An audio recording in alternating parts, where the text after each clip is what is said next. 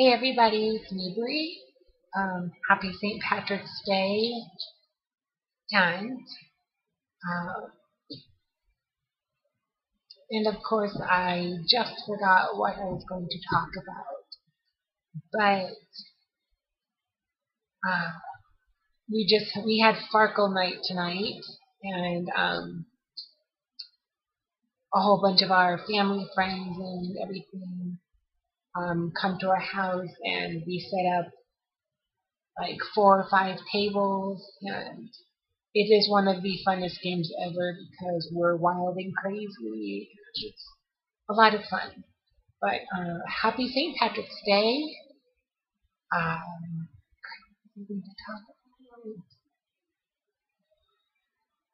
I totally forgot. Give me a moment while I think about what I was going to talk about.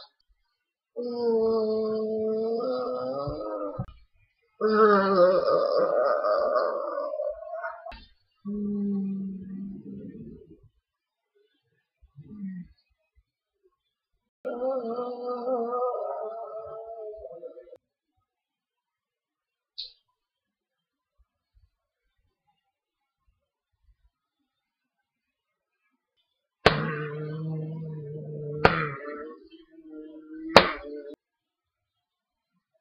Okay, well, it wasn't what I was going to talk about, but um, at work today, oh gosh. So, for those of you who don't know, I hate my high school, my former high school with a passion. I was very judged at that school. And as far as I'm concerned, that school and a lot of the people in it can blow up. That building can just blow up. It's illegal, so I can't make that happen, unfortunately. So, wishful thinking. I'd love it if at least their reputation would go down the drain. Anyway, so, one of the teachers, one of the teachers that I actually liked was there today, and I didn't realize it was her until after I started talking to her. She was talking to one of the other employees, um, saying that she couldn't find the price um, on a blouse and that is a very common mistake at Goodwill. The tags on most of the collared shirts are underneath the collar, so you have to lift the collar up to find the tag. I know that's stupid, but I'm not the one who does the tagging, so. Um, and so I heard, I overheard her saying this, and the employee she was talking to um, just told her to go and ask a, ca- a cashier up at the front. And I already knew the little trick to it. So I just jumped in and said, Is it underneath the collar? And I went over to her and lifted up the collar and showed her the tag. And then when I looked up, I realized it was one of my teachers from high school. And the whole reason I'm saying this is she recognized me. I know that probably should not be a really big shock, but it was, I'm not going to say it was hurtful. Okay, it was hurtful. I was disappointed. I was humiliated for one thing because I tried to, whenever someone from my former high school comes into Goodwill, I try to avoid them at all costs. And I'll, get into the reason why I hate that high school in a moment. But um, I try to avoid them at all costs. and yet I just walked up and started talking to her, and she recognized me.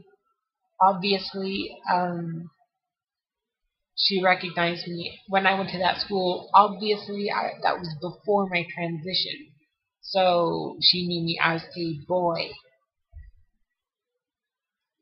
And so, and of course, I'm I dress full time now, and I'm a girl. I dress like a girl. I sound like a girl. Hopefully, I kind of look like a girl. And oh my gosh, it was. I just wanted to go climb into a corner and scream. but luckily, it was her.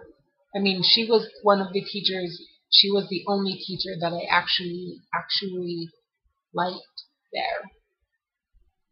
Um, she's she's very nice, but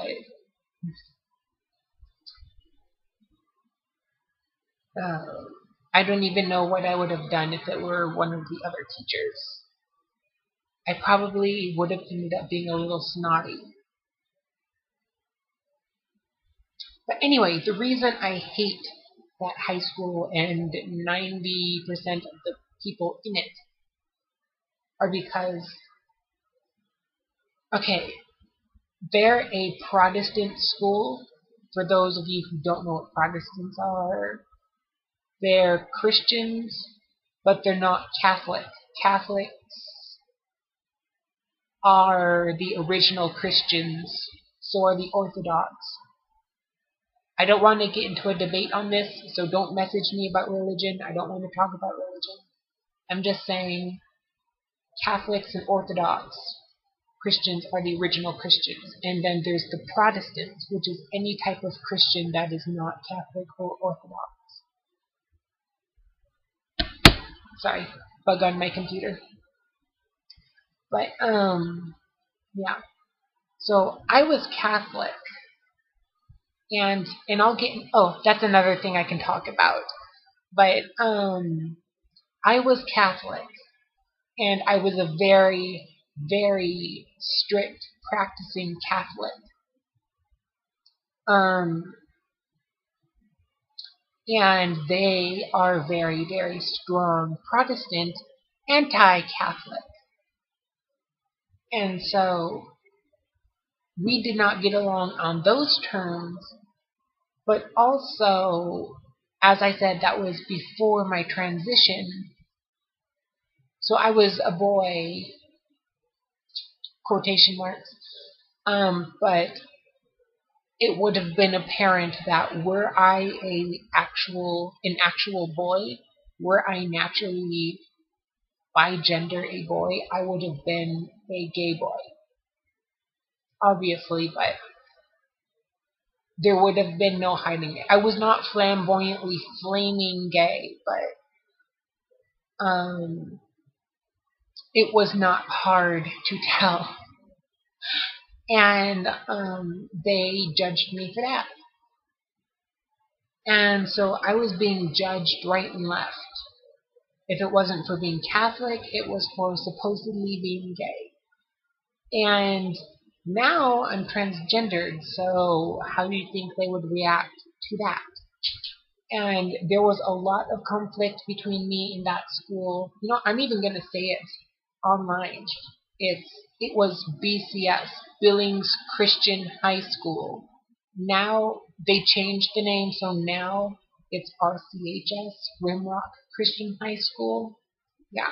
If any of you are in Billings, Montana, stay away from that school. They are two-faced, they are hypocritical, and they deserve to lose their careers. They don't deserve anything. Anyway, and they are very judgmental. They're just, they're bad people. Um,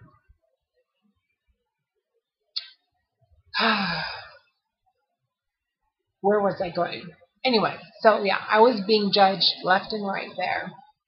And you ask me, well, why didn't I just go to a Catholic school? First of all, the only Catholic school here Catholic high school here is very expensive. We could not afford to send me there. Um, and I have never been in public school past elementary school. So at the time, public school was not really an option for me. Although looking back, I think I probably would have been better off in public school, at least socially. However, I have to say a couple of my good friends did come from that school. Of course, they were the rejects too. Um, they were the cast outs as well. but um, yeah. Anyway, and um, my laptop is about to kind of start dying, so hold on a minute.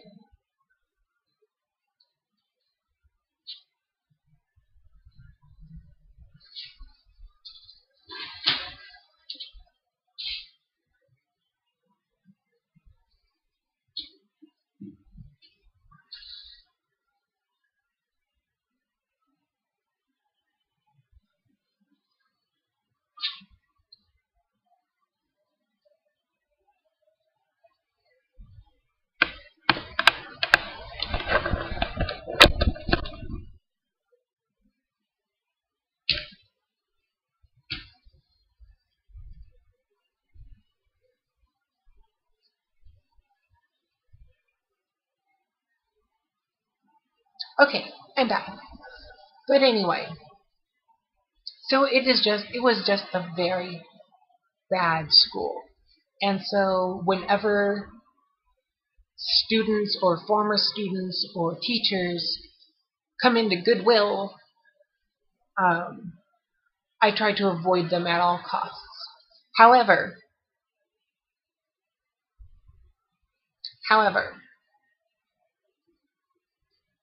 while I do try to avoid them, if I end up checking them, if I end up checking them through my line,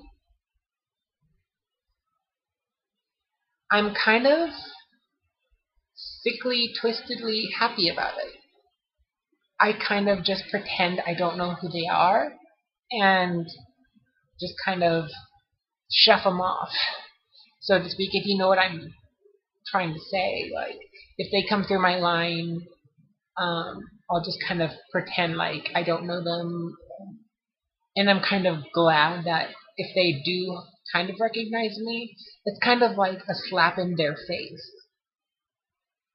I don't know, it's kind of like throwing my transition in their face. Um, like, even if they're judging me, um, silently in their heads, I'm acting like I don't care about you. Your opinion doesn't matter. You're nothing to me. I don't really care. I'm just you're just some customer. So I don't know. It's kind of like a slap in their face. Anyway, so I have a lot of resentment towards those people. Um, not just because of the way they judge me, but because of the way they lied and like uh, they would lie and pretend that they were supportive of you like as a person. Um, they would pretend and everything came with strings attached if you know what i mean. I don't know. I'm getting a little ahead of myself but if you know what i mean. Um, i don't know and as far as my having been Catholic, I really don't know what I am anymore. Like, I kind of still follow the old traditional Latin Catholic belief system and the Orthodox belief system. But I've kind of come to the conclusion that sorry, I've come to the conclusion that I love God. I love Christ. Um, I have a very, very deep relationship with um, the Trinity and all that. But I'm simply not a fan of his people. Who was it? Was it Gandhi who said, I like your Christ, but I don't like your Christians? that's kind of what I'm like now, which is kind of almost contradictory because I was a very strong Catholic. And I went to seminary when I was still a boy. I went to a traditional Latin um, pre Second Vatican Catholic seminary to become a priest. I know, I did that. And I was there for about five months. And um, I know, for those of you who don't know what a seminary is, it's a place where um, young Catholic men go to become priests. They're called seminarians. Um, they're there for the formation in the church. And I was there. And it was very strict. I mean, very strict. Um, and very, very structured, which I like. However, they were very hypocritical. They did not resemble Christ in his love. Um, they it was just not a good place to be. However, I would not be saying that right now if I had not been thrown out. And the reason I was thrown out, I believe God made them throw me out so I could find out who I really am. Obviously, I'm not a boy, so it kind of would have been wrong for me to be there in the first place. But um, although I must say I probably would have made a better priest than they would have, than they are. Anyway, um, I had my old phone. Actually, I think it's the phone that I have now still. Anyway, I was a when I was a boy, I had, you know, the whole shirtless pictures on my phone and because I was kind of emo. And um, they told me to get rid of those. And, you know, I had to go to confession kind of for being gay and all that. Um, but I had totally forgotten, I had completely forgotten um, about my videos, videos on my phone. And I had videos of years ago, like at least four or five years ago, um, of me in my kitchen with my friend Maddie. And she had put me in a skirt and high heels. This was before my transition, so I was just kind of quote unquote cross dressing. Um, I was in a little mini skirt. I was in a mini skirt and I was in heels and I was in a tight shirt and I was walking around the kitchen and I was videoing this and then she was videoing me and we were laughing and having fun. And they found that video. And there were other things going on too, but um, I won't get into that now. It's complicated. But um, they found that videos, and I had told, I had completely forgotten those videos were on there. And you know, I had a lot of pictures on my phone, so it was taking me a while to delete all my pictures. Because if I deleted them all at once, my phone would just freeze because there were way too many pictures. So it was taking me a while to delete everything, but if I had remembered those videos were on there, I would have deleted those right away. There were only like one or two videos, but I would have deleted them instantaneously. And I think God made me forget about them. Because here's what I'm supposed to be. I'm supposed to be a young girl finding her way through life, finding out what else she is supposed to be doing with her life. I am not meant for a seminary, obviously. I'm a girl.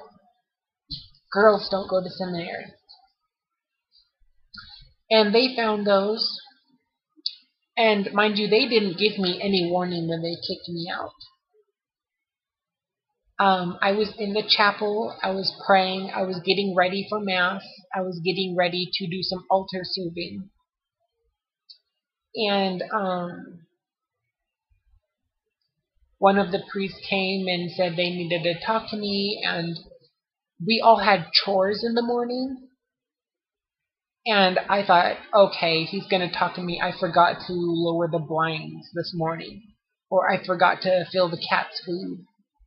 But no, he took me into one of the rooms, and there was a couple of, of the other priests in there, and um, and they started talking to me about all this, and I made such a fool of myself. I was so embarrassed. I started crying and hyperventilating, and these these traditional priests where you know men don't cry or men I was I was totally opposite of what they believe in as a man because I was hyperventilating, I was crying. I was caught off guard and they had already gotten me a plane ticket and they said I had to leave that instant, that I had to leave now. And the the head priest there at the seminary, the father superior, I had and I still have a great deal of respect for him because he didn't do anything wrong. He is a great holy man. But it was it was these other priests that got rid of me that were horrible and hypocritical.